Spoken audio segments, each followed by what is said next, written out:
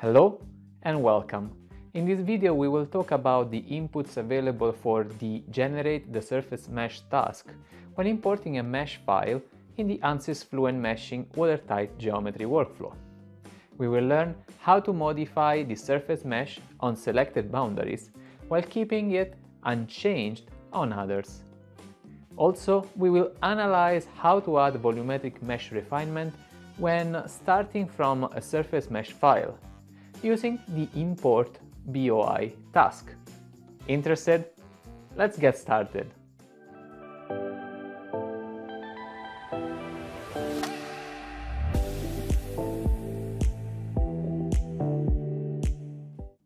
When importing a mesh file into the watertight geometry workflow, we can remesh selected boundaries to coarsen or refine the local surface mesh. This makes it possible to edit an existing surface mesh even when the geometry file is not available. However, particular attention is required when coarsening the surface mesh to avoid loss of accuracy on the geometrical features. Also, the quality of a mesh refinement on curved surfaces will depend on how well the imported mesh resolved the local curvature. Let's analyze this method with an example. Launch a new session of Fluent Meshing and start a new watertight geometry workflow.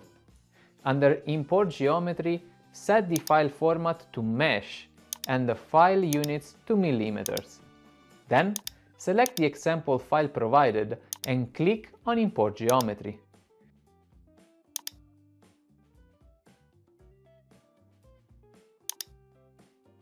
Here we have a concept car model.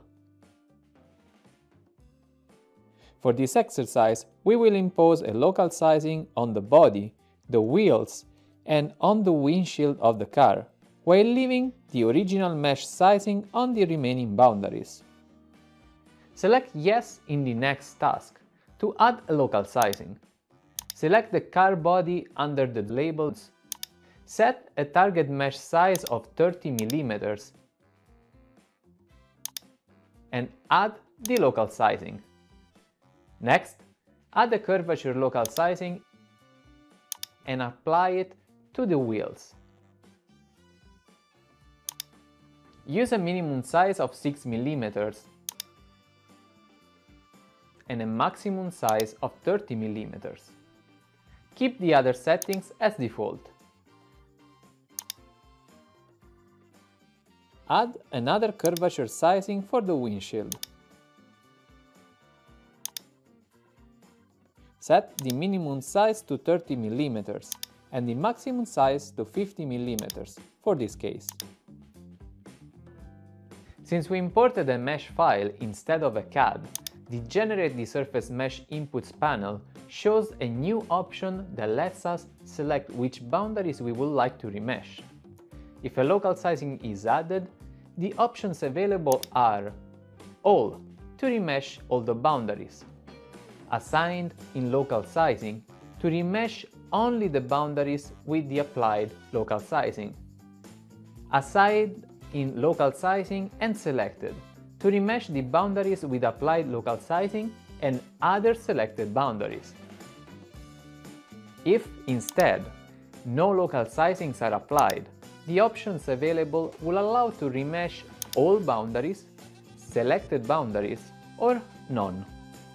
You will also have the option to use custom size fields and control files. Note that when all is selected, it is possible to specify global settings for proximity and curvature. For our case, let's select the second option. When remeshing boundaries, it's always a good practice to specify local sizing on them. The option Preview Assign Local Sizing lets us quickly review which boundaries have local sizing applied on them. Set the minimum size to 30 mm and the maximum size to 50 mm. Next, press Generate the Surface Mesh button. The surface mesh is recreated using triangular elements, even if the source mesh is of a different type.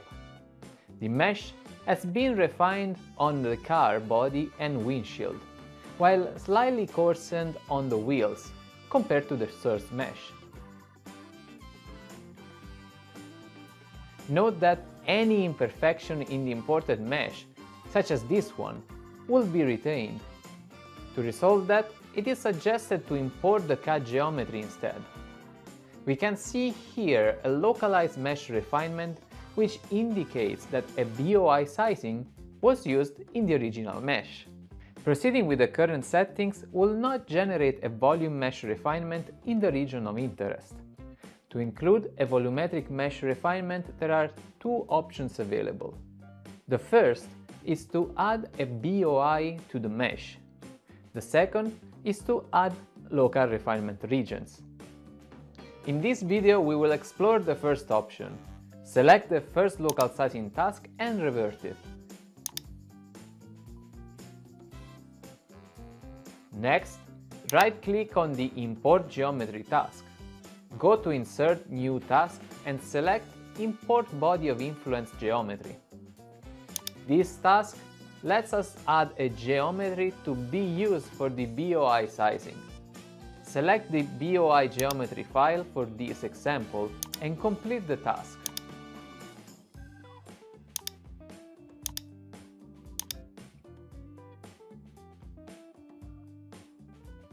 Let's add a BOI sizing to the mesh using a mesh size of 60 millimeters.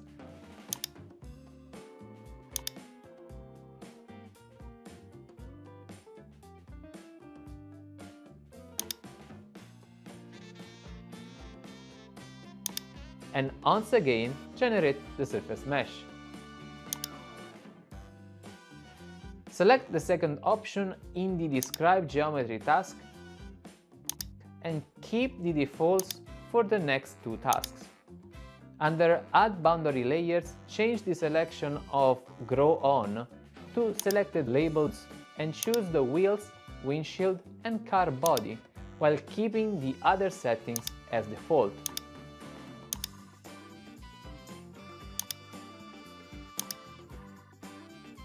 Under Generate the Volume Mesh, select Fill with Poly-Hexcore and complete the task.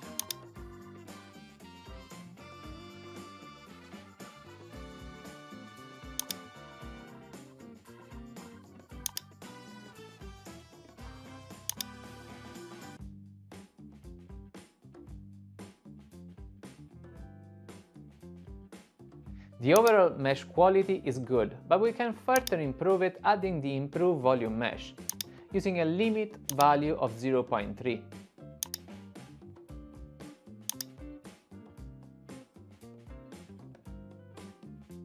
Looking at the mesh, we can see the BOI refinement in this region.